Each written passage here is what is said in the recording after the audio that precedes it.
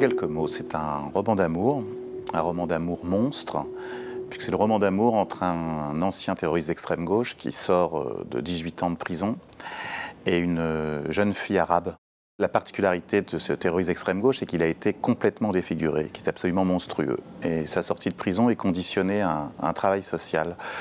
Et euh, cette jeune fille arabe qui fait son BTS va, va tomber complètement amoureuse de lui et il va la manipuler de, de façon euh, atroce. C'est quelqu'un qui est à la fois monstrueux au physique et au moral. alors, pour, tout, pour dire la vérité, c'est tiré d'un roman qui m'a profondément marqué, qui s'appelle L'ensorcelé de Barbé d'Orvilly, au XIXe siècle, où euh, en fait mon terroriste d'extrême gauche est un prêtre chouan et euh, ma jeune fille arabe est une, euh, dans le roman d'origine, est une, une paysanne.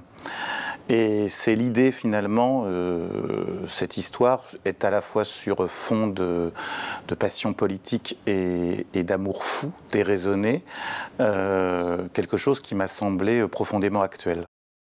On ne peut pas parler de réécriture euh, parce que j'ai métabolisé ce roman depuis, je sais pas, la première fois que je l'ai lu, je devais avoir 18 ans, c'est un roman que j'ai lu 10 fois. mais il s'agissait pour moi de, redire l'histoire plutôt que de la. C'est pas un remake au sens propre. C'est parce que cette histoire atteint presque quelque chose de, mythologique chez Barbé d'Orvilliers. Comme tous les mythes, c'est quelque chose qui n'a pas d'époque, qui n'a pas de temps. Donc euh, après, effectivement, il y a le, jeu, euh, pour, euh, pour qui a envie de le voir ou de s'intéresser à Barbé, du démarquage. Mais l'histoire en elle-même est une histoire d'aujourd'hui, profondément.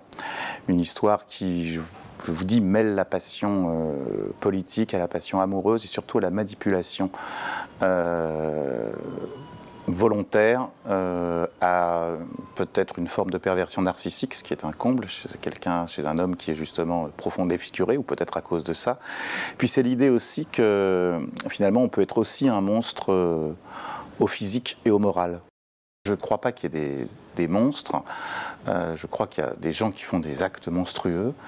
Euh, mais, euh, mais c'est quelque chose qui me, fascine d'un point de vue romanesque, la monstruosité. Peut-être parce que je viens du roman noir aussi. C'est une catharsis de fait, c'est-à-dire que je suis toujours beaucoup plus soulagé après un roman quand j'ai tourné autour de la question du, mal ou du négatif et que j'ai réussi à peu près à cerner la chose et la nommer parce que ce qu'on arrive à nommer euh, nous tue moins facilement ou nous possède moins facilement. Sur la question de la monstruosité, évidemment, le Barbet me semble, me semble atteindre un, sommet, mais euh, on peut réfléchir toujours à, cette, à, ce, thème à, travers la, littérature. Il y a parfois des, monstres qui le sont uniquement euh, physiquement.